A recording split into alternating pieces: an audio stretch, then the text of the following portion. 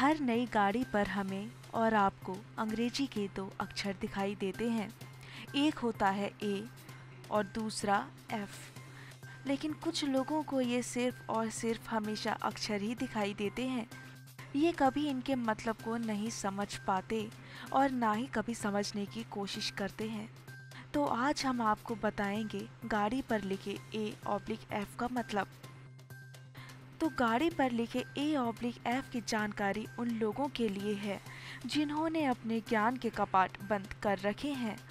इस कपाट बंदी से कुछ गलत मत समझिए।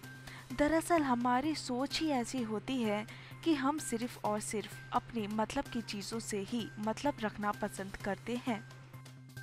इसलिए अब आप इस सवाल का जवाब अच्छी तरह से जान लें और याद कर लें, ताकि आप ये ज्ञान किसी और को बांट सकें।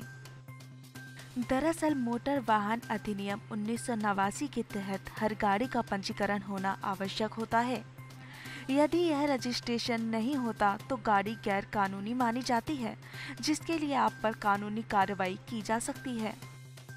ऐसे में गाड़ी पर लिखे ए ऑब्लिक एफ़ का मतलब होता है अप्लाइड फॉर मतलब अगर ये किसी गाड़ी पर लिखा है तो वह गाड़ी नई है, और उसके मालिक ने उसके रजिस्ट्रेशन के लिए आरटीओ ऑफ़िस में अर्जी डाल रखी है।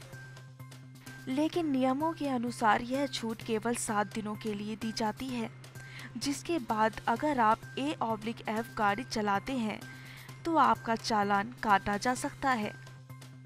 तो अंत में आपको एक बार फिर बताते चलें कि गाड़ी पर लिखे ए ऑब्लिक एफ़ का मतलब होता है अप्लाइड फॉर और अधिक रोचक जानकारियों के लिए हमारे चैनल को सब्सक्राइब करें।